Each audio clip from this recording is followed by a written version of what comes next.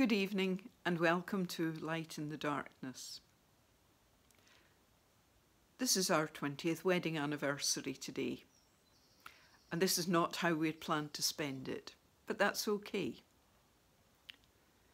The night before our wedding, Mike stayed with very good friends of ours, and they had a little boy called Andrew. Andrew loved Bob the Builder and he decided to keep Mike occupied and distracted on the morning of our wedding, watching Bob the Builder videos. And as a result of that, Mike has his very own Bob the Builder. I don't know if you're familiar with Bob or not. He's not on TV now nearly as much as he used to be. But we love having Bob around. Bob had a hit single. It was called Can We Fix It? Yes, we can.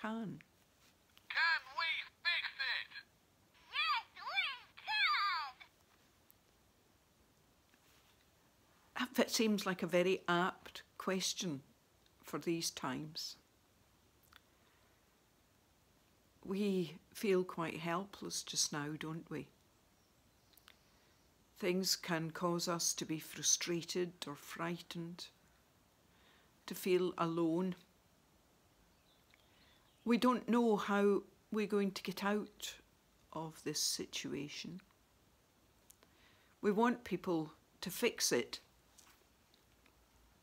but we're not certain how. We can feel utterly helpless was the theme of many of the programmes that Bob was involved in. He would get a project to do, a problem to solve, but he never had to do it on his own. He had friends to help him.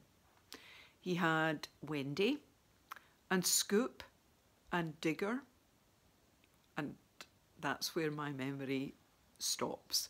So if you want to know about any more of Bob's friends, you have to Google it for yourself. But Bob and his friends together could do so much that they couldn't do on their own. And isn't that the case for us too? On our own, we can do very little. Together, we can do so much. And togetherness isn't about physical presence. Togetherness is about unity, about common purpose, about friendship, about care, about support for one another. And when we pull together, even though we're apart, we can fix it. Yes, we can. Good night and God bless.